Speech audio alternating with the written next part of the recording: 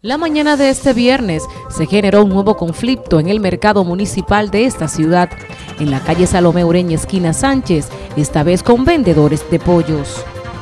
Nosotros estamos trabajando aquí, en el mercado, buscándonos lo de nosotros, entonces vino el, administrador y cogió los pollos que estábamos picando, ¿para qué? Pa, y lo tiró al suelo y jaló machete, y además nosotros nos quieren quitar a ella a mí y ellos hay más mesas, motores, y ellos vienen a nosotros que nos quieren quitar, y va lo que hicieron, y tiran tiro aquí y de todo.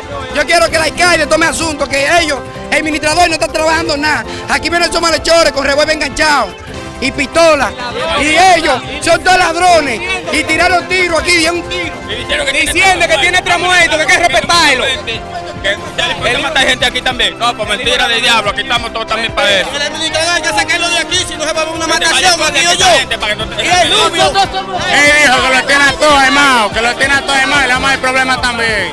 Aseguran el administrador del mercado utiliza la violencia para moverlos de sus respectivos puestos de trabajo. Para NTN, su noticiero regional, Joanny Paulino.